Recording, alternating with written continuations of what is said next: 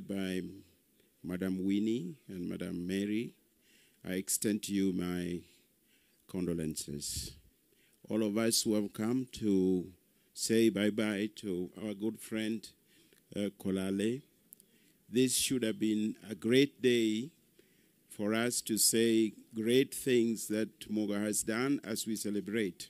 But as somebody has said, Muga has gone too early and too quickly.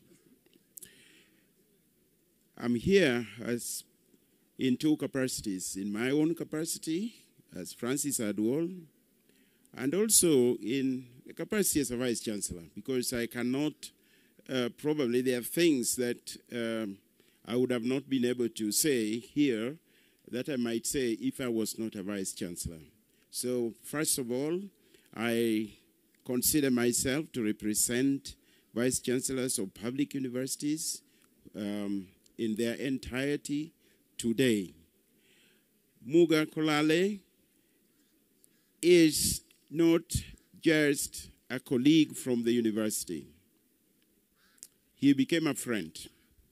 You have read on the, in the book about Muga Kolale that has been given to us today. He was involved in UASU negotiations from 2006 to 2021. And in all those negotiations, I participated. And many of you who are there, Musalia, you are here, Sami Kubarsu, we were sitting with you together, Sami. I don't know where you went. Uh, Sami Kubarsu, you will recall the early negotiations of 2006. Even then, Kolale was in charge. I was always on the other side, and I helped in many ways in doing the calculations that resulted in the salaries that we would go and pay staff, together with uh, officials and colleagues from UASU. Kolale was therefore always on the other side, and I was always on the other side. Of course, not myself alone. Through this, that is a span of 15 years, I got to know this person very well.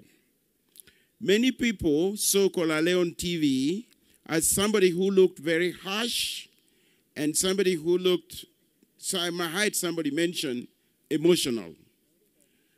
Kolale was never emotional. That was just his way of expressing his point. But he could be harsh.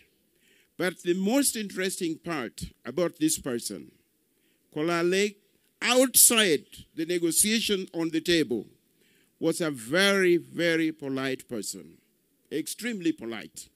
Those who didn't have a chance to interact with him at that level might not know. And we used to say in those negotiations, when we go in, things can be very hard and very hot. When we come out, we take tea together. And during tea time, we would all laugh and we would tell people, those tables we have in there are put for us to bang as we talk. But the final decision will come out when we are talking during tea time and outside those negotiations. Charles Mukwaya, you know all of that.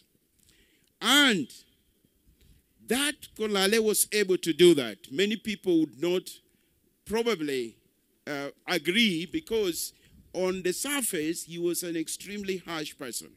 But you would sit with him, and sometimes we would agree that this is how we are going to tackle the negotiations today. And we were able to bring the universities to the level we have brought them in today. What is the legacy of Kolale?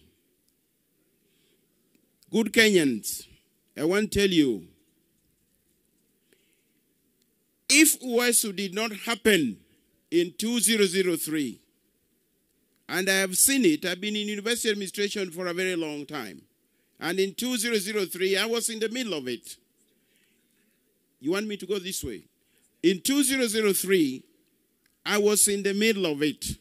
In fact, my first interaction with UASU was in 1993 when the first attempt aborted, but I will not speak about that today. If UASU did not happen in 2003, it is difficult to imagine what would have happened to our universities.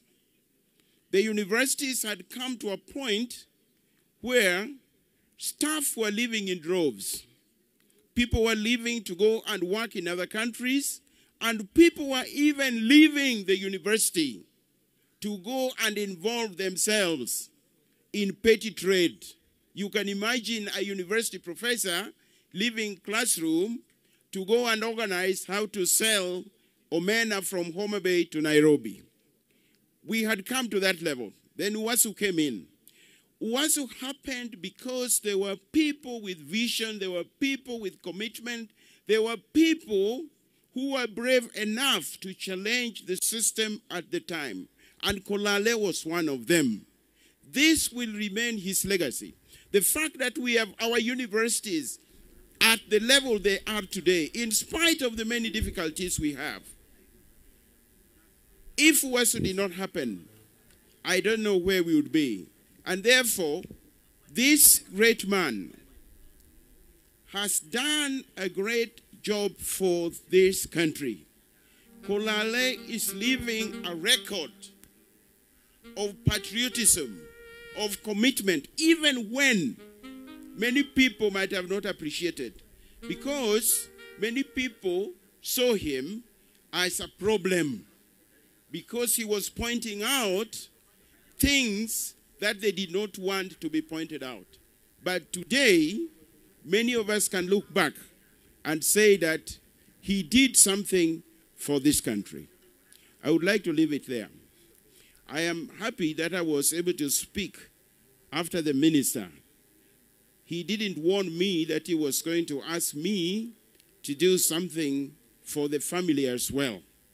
And since he has said and he has indicated what he wants me to do, I would like to tell the family that I'm also going to confer with you and in my little capacity as Vice Chancellor, I would like to do something for yourself, especially because Kola Kolale has made the universities to be what they are. It, is, it will be a pity if his children are roaming the streets and many people he supported to be where they are today have their children living under a roof.